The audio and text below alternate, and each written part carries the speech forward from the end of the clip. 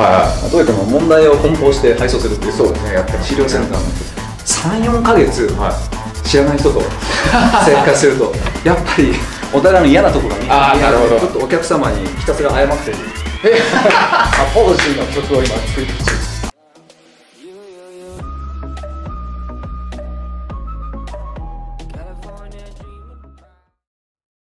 おはよう始まりましたモテツチャンネルです。今回はですね、えー、加藤正史先生ですね再びお越しいただきまして。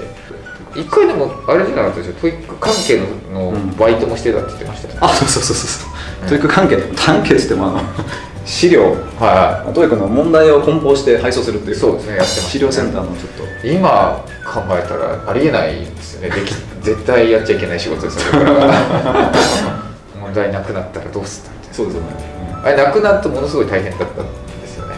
確か言ってた気がしたななくなるまあその数合わせをしてそうですね。数が足りないと相当いろんなとこ探してとか。はい。その数合わせをしてってなんかもう不正してる感がさ 数合わせって言葉がある いろんな倉庫がとチェックしてて。はあんまり細かいこと話してるのかわかんないです捨てる方も大変処分側も大変だったんですよね、そうですね。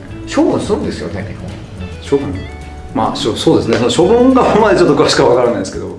俺でもあれ一回カナダで、うん。あの僕の知り合いが受けた時に線引いてあったんですよ。線問題用紙。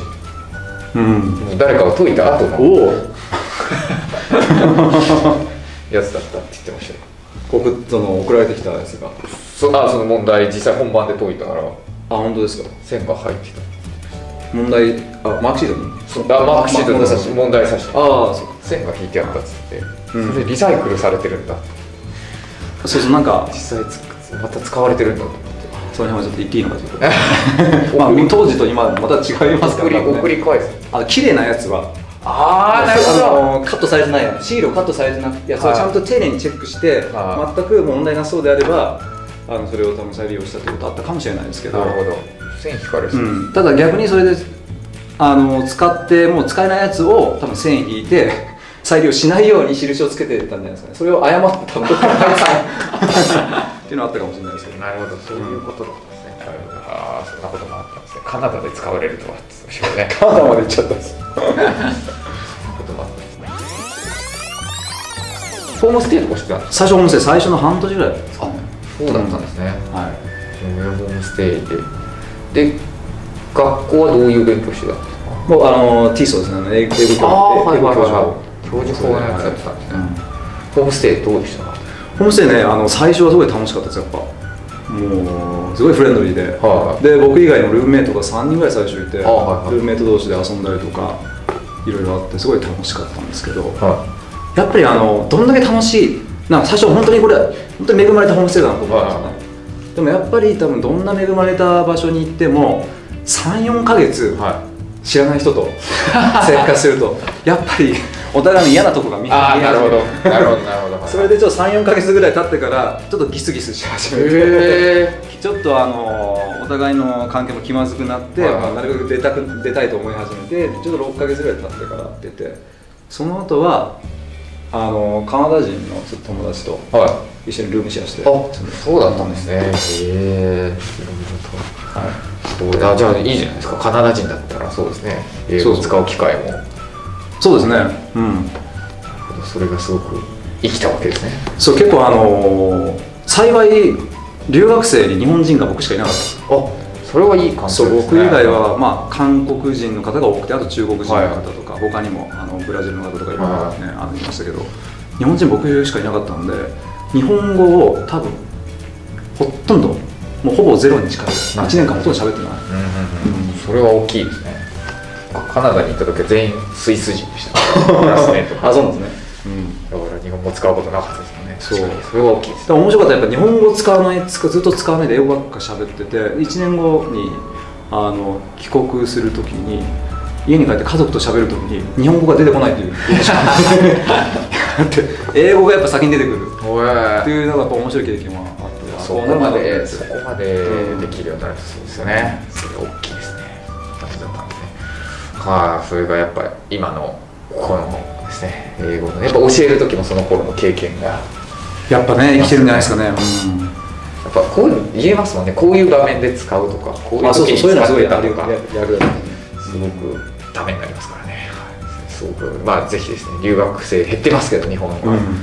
ぜひですね留学して経験してみてください。そこに出てほしいです。ねそういう何かまあそうですねいろいろこのブレイクスルーじゃないですけど、こうはい。突破するものっていうのがやっぱりありますからね、そうですね。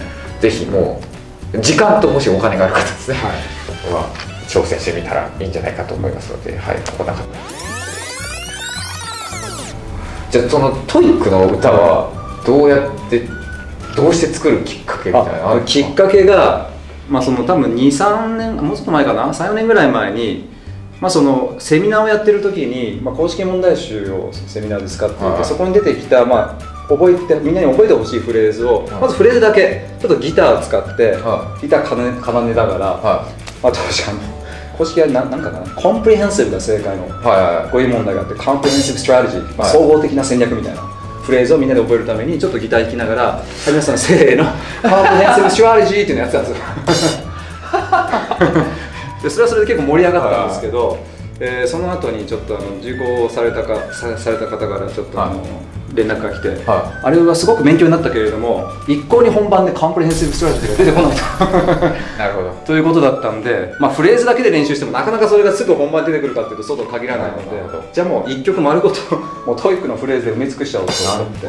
ああ フレーズ最初にそれをやろうと思ったのもすごい。ですね そうなんかどこかで いやどこかでちょっと僕ギターは多少弾けるしはなんか他の先生と違ったことをややろうと思ってたんですよね、ギター侍的に。ギター侍的に。ずっとあのやっぱねあのセミナー何時間もずっと解説とかちょっと皆さんに疲れちゃうんで、はい。そういったなんかちょっとねあの楽しい意味も取り込みながらと思ってそういう形ですまあ確かにいないですね。ギターを持って授業する TOEIC 講師いないと思いますね。ですよね、これどうなんですかこれ。いなんか会話まるまるとかやってもいいんですか？あもうそうあのいろいろ考えましたよあのパート2とかパート3と会話丸ごと歌にしたり。とか、すごい。